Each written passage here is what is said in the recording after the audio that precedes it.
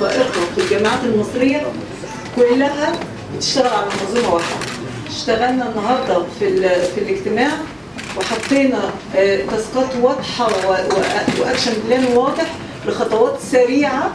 إن شاء الله تحقق مردود إيجابي سريع لأن العيان مش شايفنا غير حاجة واحدة إحنا مستشفيات الحكومة اللي هو آه، آه، يعني يأمل فيها خير إن هي تقدم له لأن هو عنده احتياجات صحية وتحديات اقتصادية فهو متأمل فينا خير إن شاء الله.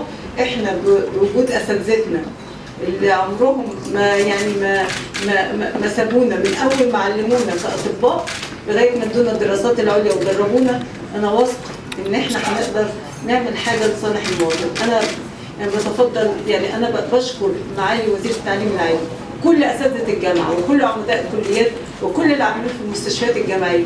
وبشكر ولادنا ولادنا اللي بيرفعوا راسنا دايما في وزارة آه، الصحة اللي هم بيشتغلوا بقلبهم في كل آه، المواقع وفي المناطق النائية. آه، إحنا معاكم وهندربكم ونعلمكم وأساتذة الجامعة جاية. وأشكر تاني سيادة الوزير على إن هم اشتغلوا على المناهج